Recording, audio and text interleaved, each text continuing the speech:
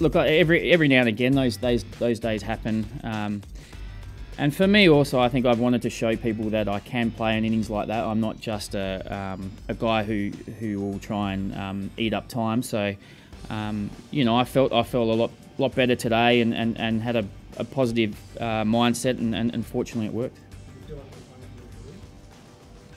Uh, in some respects, yeah. Um, um, I think you know my performances haven't been um, uh, anything to write home about. So I, I, I knew that if I'd had a, a, bad test, I guess I'd be under a lot of pressure. So um, you know, as I, I, said a couple of days ago, I think that I'm not naive enough to think that if I don't score runs, I'll still be in the side.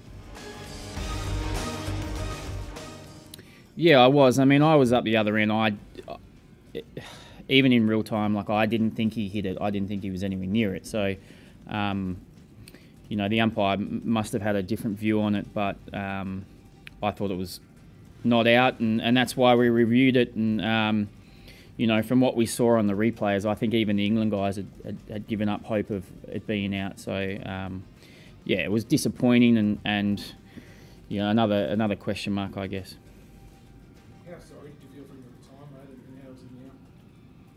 Yeah, I mean, you, you, it's it's a weird thing because it's I guess it's people's careers on the line as well. So um, you want these decisions to be right.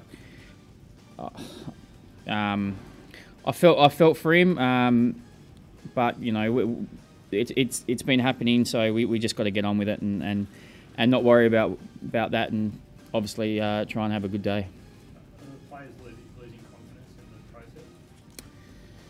Um, look, it's a hard one to, to answer. I think um, I still think it's important. You know, it's it's we, we want technology technology to, to make sure these decisions are, are correct. Um, and, and sometimes it goes for you, and sometimes it goes against you. So you just have to take it.